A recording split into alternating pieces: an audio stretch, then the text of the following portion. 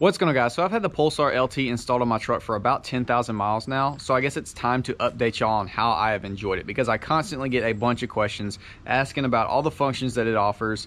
Do I enjoy it? Does it void your warranty? And do I recommend you buy it? So I'm going to give my full input on it today. Some of the features that I absolutely love and could not live without and uh, my overall opinion. But if you're not familiar, it's this little guy right here. It is an inline module and it has a bunch of different features that are really really awesome that we're going to jump into but it's directly plug and play super easy install. I'll put a link to that video in the description if you want to check it out um, this is going to be for any of the newer trucks aside from the classics that have the old 5.3 and the 6-speed the same company has a small module for those trucks but it only disables afm whereas this has a bunch more features this is a 6.2 with the 10 speed but 5.3s are affected just the same so we're going to go over the features in no particular order. So we're going to start with the first being the speed limiter. You can actually adjust it up or down. So depending on your truck, it'll either be 98 miles an hour or 112.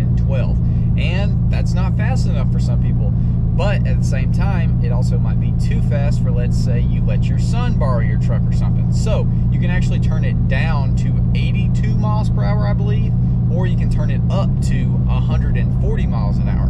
So depending on what you do with your truck, maybe like cruising down the interstate really fast or maybe like drag racing, you might be going faster than that 90, 98 mile an hour and now you can turn it up all the way to 140. I've got mine turned up all the way to 140. Why not, right? So the next feature is gonna be something I've really not used yet because I've had no need to, but it is cool that it is a feature. So you can adjust your TPMS sensor level from one PSI all the way up to 99 PSI. So for whatever reason, if you need to run less or higher pressure than the factory without triggering the light, you can actually adjust it.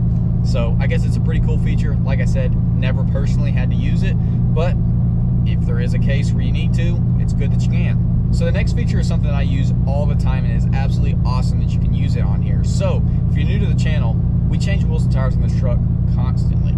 So what does that mean? our speedometer is off a lot, right? Well, with a Pulsar, you can actually adjust it for whatever wheel and tire size you get. So let me look real quick. You can go from a 29 inch all the way to a 50 inch. So you can go much smaller or much larger, right? And that's awesome because the last thing you want to do is be stuck cruising down the road at your gauge saying 60 and you're actually going 67 or something like that. Like that's annoying. That's kind of an old thing where you had to do. Um, sometimes you can go to the dealership and they can recalibrate it or you can get an actual ECU tune and they'll adjust it specifically for that. But not all the times can you adjust it like this. I can adjust this on the fly. If I go change my wheels and tires today, boom, five seconds, I'm swapped over to the new one. My speedometer is now correct. All right, this is gonna be the biggest and best feature Number three, it no longer allows radar detector to work on your truck. Not really. I watch me get pulled over for saying that. Not really, I'm joking. So you can adjust your tire size. The next feature allows you to adjust your axle ratio. So there's currently, I don't think, any available axle changes on the four-wheel drive trucks of this body style. But in the future, there of course will be. And so they already have this, field, this feature built in. So if it, for whatever reason down the road, I want to throw a 373 or a 410 in here, we can adjust for it. Our speedometer will be correct. Our truck will be happy knowing what exactly it has. That's a great feature to have for in the future. So next we're gonna get to the two features that you adjust and then forget about and it's awesome. So the first being you can disable DFM, Dynamic Fuel Management. This is a feature that comes from the factory. Well, it used to. Now that the chip shortage is in, it doesn't really. Um, but if your truck comes with DFM working, it actually shuts your V8 down to all the way to a two cylinder, right? So if you're cruising like I am right now, barely breathing on the throttle, it'll jump it down to four or two cylinder. The previous was AFM and it just went down to four. Well, now it goes down to two and it also changes different um, sequences of the firing. So it's supposedly better for the engine. It works smoother, but at the end of the day, it is annoying. You're cruising, you want to, you know, romp on it swerve around somebody and accelerate, well, it's got to swap back to V8, then it's got to downshift, and there's a laggy area there that is super annoying. It's noticeable, and let's be honest, we want our trucks V8 all the time, especially if you got an exhaust, you want it in V8 all the time. So to be able to disable DFM and forget about it, it's great. I've not noticed any fuel economy difference when turning it off. So tell me DFM's actually working I think it's a big conspiracy thing to get by with government regulations. So, whatever the case. Um, speaking of fuel economy, we have 35s on this truck, but as of right this moment, it's reading 15.5. So 15.5 and a 400 plus uh, horsepower truck can't really complain. The next feature that you want to disable and forget about is stop start. So you do have a button down here that disables the auto stop start. So you pull up to a stop sign, a red light, whatever, you know, it turns off, right? Well, if you have exhaust or if you just are a normal human being that just gets annoyed by stuff sometimes, that gets annoying, right? So to be able to, like DFM, disable those two features and then forget about dealing with them, it's great because personally, I would like my truck to be in V8 and not turn itself off from the factory. So to be able to do that now, I love it. So honestly, the last feature I'm going to speak about is probably my favorite and what I could honestly probably not live without. So the throttle sensitivity adjustment. There's five different parameters where you can adjust. Um, I, I don't remember specifically, but I think the first one is stock. Then it gradually gets more intense on how sensitive the gas pedal is to the throttle input. So this module does not actually increase your horsepower at all, but it feels like it does for sure. It makes the truck much more enjoyable to drive, much more sporty.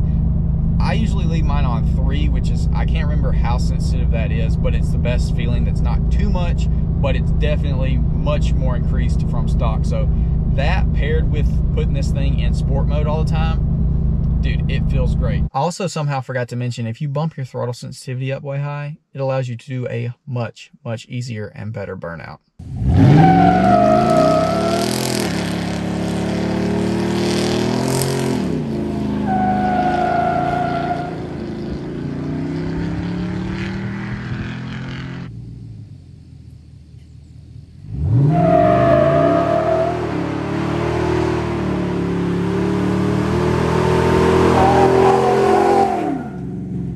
Happy to report the Recon grapplers do a nice smoky burnout. Yes, sir, they do. You will get kind of used to this, but if you go back to driving it without it, you will 100% notice the huge impact that it has. So I drove my father-in-law's stock Trail Boss the other day. Dude, you got to push the daggum pedal like half an inch to an inch to get it to do anything, right? Now you turn this thing up, the moment you start getting into the throttle, it starts reacting. And that's exactly what you want. You don't want this big, lame, lazy, dead pedal. You want it to give it the gas and it starts moving. Like I'm, I'm barely into the gas pedal, y'all. Until you've driven it with the throttle sensitivity bumped up, you will not know how much more you will enjoy your truck. Between turning off DFM, turning off stop start, and then adjusting your throttle sensitivity, it's like a completely different truck. I 100% say you should buy the Pulsar LT for those specific three things because you will really, really enjoy your truck. If you if your truck is just a meh point A, point B, I'm, I'm uh, you know I'm kind of zoned out while driving. Maybe it's not for you. If you actually get into your vehicle to relieve stress, to enjoy driving, and to just experience a nice truck that feels like a real nice truck, dude, you will 100% get your money's worth out of a Pulsar LT. I mean, I, think about how many features I just named off. You're getting multiple different products in one product, right? Like you can get a module that turns off stop start. You can get a module that increases your throttle sensitivity. You can get a module that maybe turns off DFM, but this has everything built into one. I can't really say if it's going to void your warranty, but I can say this, it is easy enough to simply unclip, put your stock one in there, that if you ever go to the dealership just unplug it. You can go a day with it back to stock, right? And then you get your, you know, whether you're dropping your truck off for an oil change or, you know, it's getting a warranty recall or whatever the guy, or it, it drops a lifter. I don't know. Anything can happen. My truck specifically. Um, just unplug it. Take it to the dealership. They're not going to know. This module is supposedly untraceable, so they can't see, like, if you did actually tune your ECU, it'll leave a code in there that they can actually see. This is warranty friendly, in my opinion, if you use your noggin and actually just take 10 seconds to unplug it, take your truck to the dealership. get it back from the dealership, plug it back in, and go about your day, right? Pretty basic. For those that might be wondering, does this product save you from a potential lifter failure? No, I can speak from experience.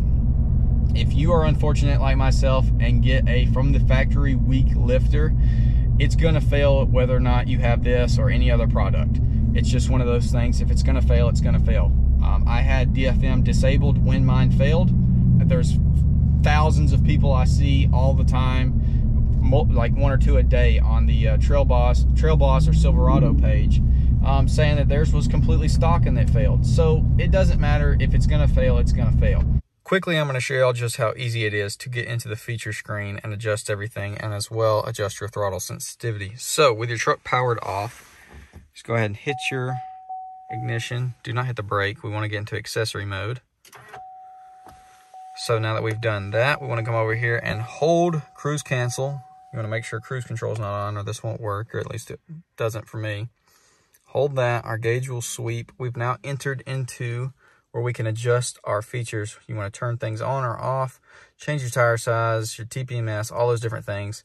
There's different numbers. Link in the description to the original install video where I can go into more details and actually show y'all how to program all these individual features. But that's how you get into it, dude. So how to get out of there, just going to hold cruise cancel again. It'll sweep, be done. Boom. All right, so that's that. Turn your truck off open your door, you know, let her power down the normal way. Now go ahead and crank it back up. And so with cruise control off, it's this simple to adjust your throttle sensitivity. It goes from zero to five. So watch that with this, boom. We're now at position four on throttle sensitivity. You can go up to five, super rowdy, super outrageous. Uh, go all the way down to zero, which I think is stock. Just like that, on the fly, while you're driving, adjust the throttle sensitivity. It's freaking awesome. I love it. I usually leave it on three. I feel like the truck performs the best on three. Feels nice and peppy, but it's not like five where it's just like you breathe on the throttle and it's doing a burnout. So with that being said, hopefully y'all did enjoy. Definitely comment down below and let the people know if you do have a Pulsar LT as well. Let them know your experience, what you think about it.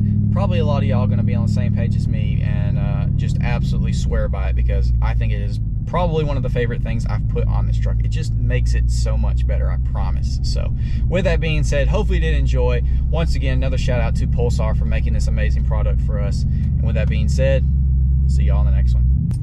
Bruh. Yup. What is that?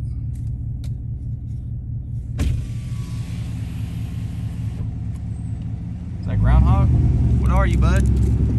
Look almost like a raccoon.